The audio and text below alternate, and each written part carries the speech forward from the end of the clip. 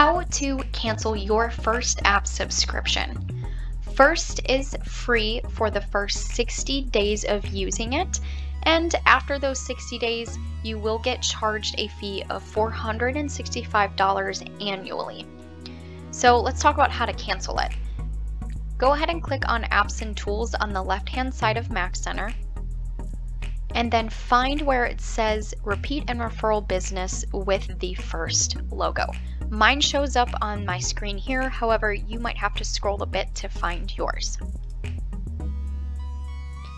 Now go ahead and click sign up now. Obviously, if you are canceling your subscription, you have already signed up, but do me a favor, just click on it. And now you can click on subscription info. And then there's this red button that says cancel my subscription. Go ahead and click on that and then once you're ready, click cancel my subscription. If you find out that you are still being charged after you have canceled your subscription, go ahead and contact RE/MAX's product support. Their email is productsupport at remax.net, or you can give them a call at 888 398 7171.